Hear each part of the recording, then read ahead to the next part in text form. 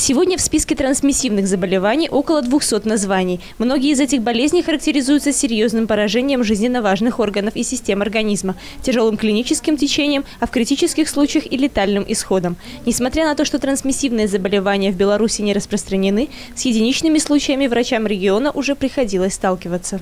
Всего в мире существует порядка 200 трансмиссивных болезней. И все они могут быть актуальны для Республики Беларусь, если мы не будем соблюдать элементарные правила их профилактики.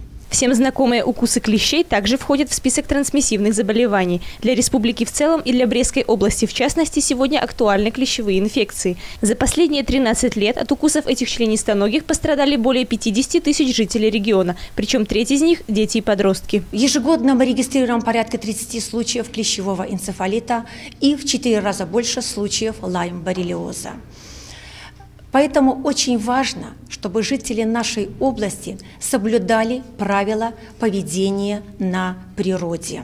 Но кроме клещевого энцефалита, в последние годы врачи констатируют появление на территории региона и вирусов, привезенных из самых разных путешествий. В этом списке и такой диагноз, как желтая лихорадка. Конечно, запланировав путешествие в Венесуэлу или Боливию, откладывать его не стоит, но в этом случае важно помнить о профилактике, одной из составляющих которой является вакцинация. Обязательно при выезде в любые страны мы должны соблюдать правила личной и общественной профилактики.